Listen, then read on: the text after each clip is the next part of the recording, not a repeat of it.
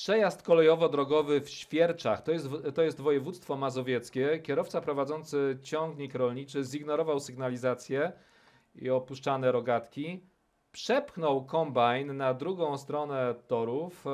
No i oczywiście, spójrzcie, doprowadził do bardzo niebezpiecznej sytuacji. Tym bardziej, że za chwilę nadjechał pociąg. Ta sytuacja wygląda, Marku, trochę jak taki bareizm, a jest e, oczywiście niezwykle niebezpieczna. E, Wiele ich prezentowaliśmy ostatnio, nie chciałem powtarzać, natomiast e, fakt, że to są pojazdy rolnicze nadaje temu nawet nowy wymiar.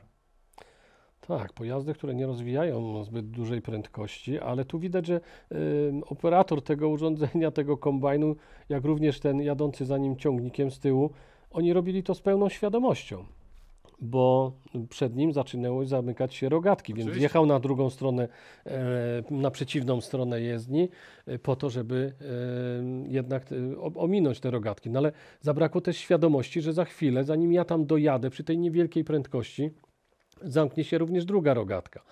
Z zachowania jego przynajmniej e, można ocenić, że zrobił dobrze, wyłamując ten szlaban, bo tak należy się zachować na przejeździe kolejowym. Gdyby nam się zdarzyło wjechać, to nie będziemy tam manewrować, ustawiać się tak, żeby pociąg nas nie zaczepił, tylko mamy obowiązek tą rogatkę wyłamać, uciec stamtąd.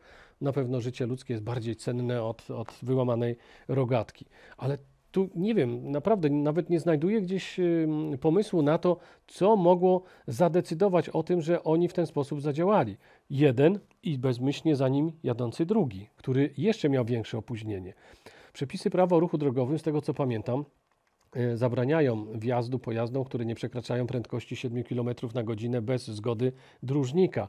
Nie wiem, czy to zielone urządzenie, ten pseudokombajn chyba to jest jakiś taki, czy on rozwija prędkość większą niż 7 km na godzinę.